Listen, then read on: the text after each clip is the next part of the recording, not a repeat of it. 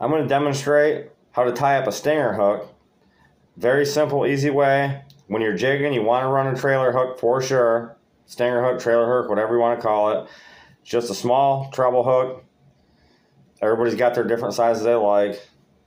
You just simply take a piece of line, 15 to 20 pound test, and you make a knot in the end of it. Just, just a simple overhand knot right in the end of your line there. Then you take your hook, run it through there, and then again you run it where the knot's on that side, and you make a loop. Just an overhand knot again, and you pull it tight. Now what happens is you'll be left with that knot that you initially tied right there at the end.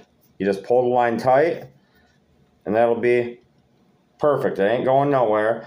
Then on the other end of the line, you just want to do another overhand knot, same thing. And you can adjust it right about to where you want your stinger hook to stop, roughly around two to three, four inches people go. I just go whatever feels right, looks right. That's you'll just know the length of your stinger you want to do. And then you pull it tight, you got your overhand knot. Now you got your hook and your knot. So what you're gonna want to do, and this is the tricky part that a lot of people mess up, you put you just take the hook and push it towards your thumb and it'll make a loop just like that. Then pull the hook a little bit, bring it underneath that loop, okay, just like that.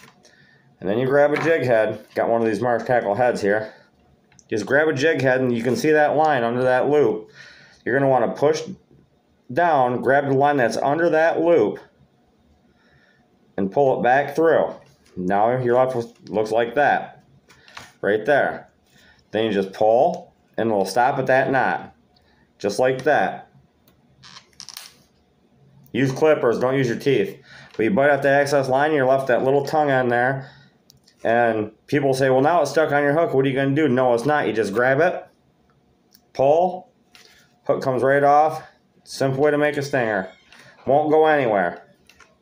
Simply pulling that little tag in, comes right off. Hope that helps you guys out.